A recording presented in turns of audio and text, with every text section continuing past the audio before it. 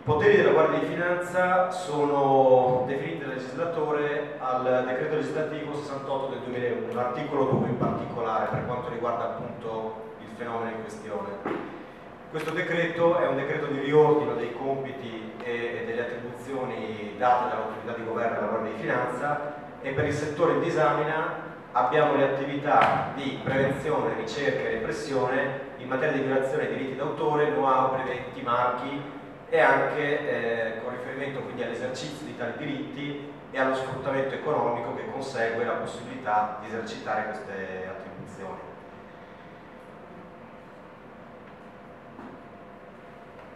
Sintetizzando, quali possono essere le tre aree, le tre macro aree di intervento della Guardia di Finanza?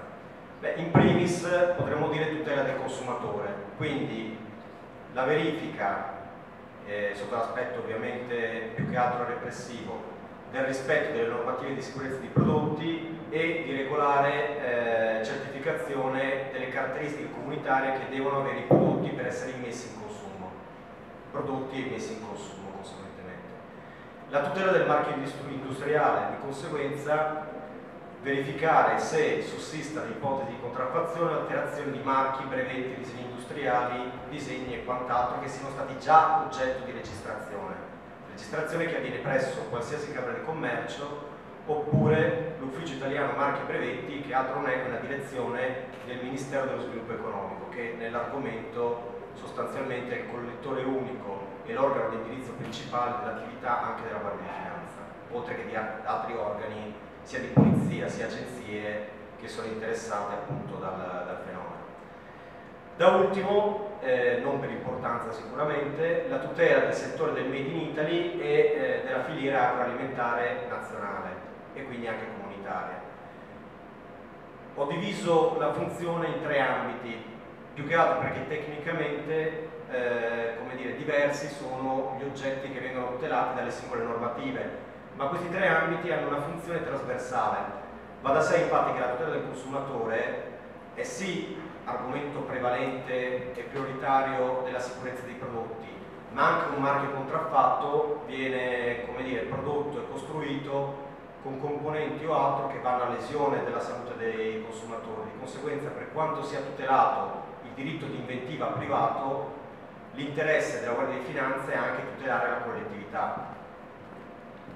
tutela il singolo ma la collettività in sé. Questo avviene sia per l'agroalimentare, quindi non è solo un problema che un prodotto viene spacciato come italiano e in quanto tale danneggia l'industria reale italiana, ma può essere anche pericoloso insitamente nelle sue componenti. Uguale anche il Made in Italy. Il Made in Italy tecnicamente si riflette ed è apponibile nel momento in cui un prodotto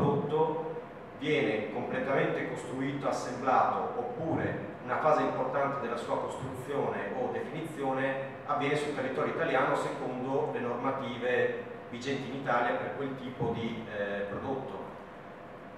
ma di converso costruito o assemblato all'estero potrebbe avere caratteristiche che nuociono alla qualità piuttosto che alle prescrizioni di legge e quindi di conseguenza anche al consumatore che ne dovesse fare utilizzo. Sicurezza dei prodotti, beh, va da sé che un prodotto che eh, come dire,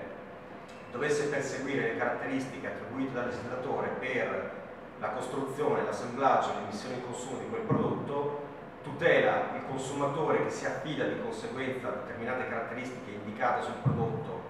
eh, insomma che ne sanciscono l'aderenza normativa rispetto alle prescritte normative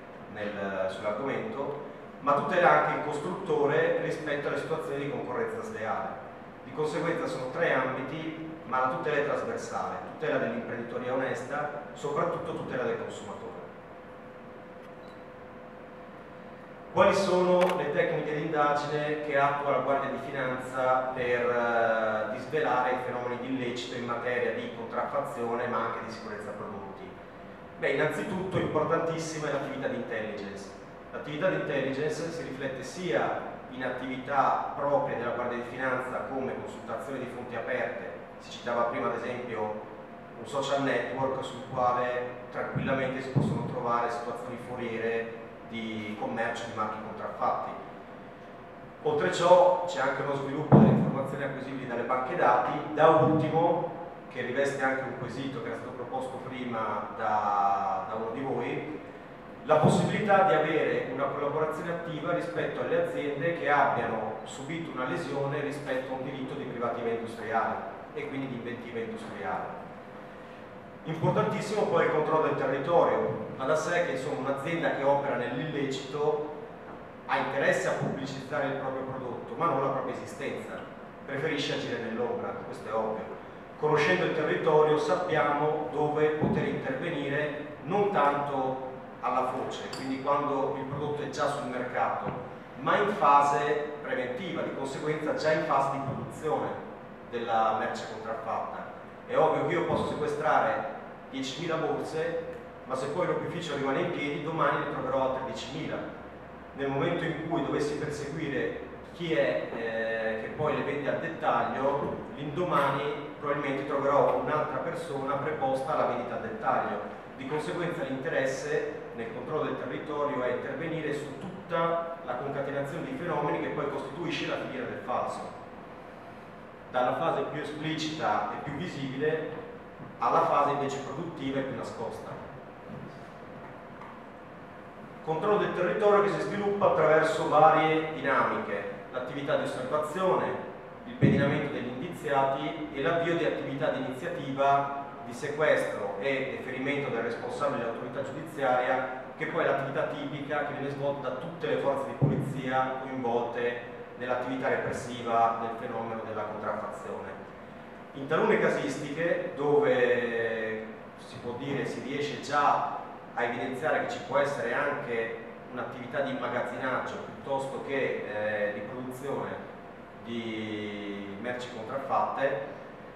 c'è poi la possibilità di adottare sistemi di vigilanza, potremmo dire a distanza. Il più famoso è un apparato veicolare GPS, in quel caso installato a bordo di un veicolo oppure anche all'interno di un borsone o quant'altro, attraverso personale specializzato si riesce a risalire all'esatta ubicazione di quelli che sono poi i magazzini oppure gli opifici dove vengono rispettivamente contenuti insomma, i prodotti da smerciare eh, impacchettati per essere spediti tramite poste agenzie di spedizione oppure direttamente dove trovo i macchinari che attuano le funzionature, le stampigliature a caldo o che comunque dal prodotto neutro che giustamente diceva la dottoressa, cioè il mio precedente eh, relatore, eh, appunto dal prodotto neutro conferiscono poi il marchio contraffatto alterato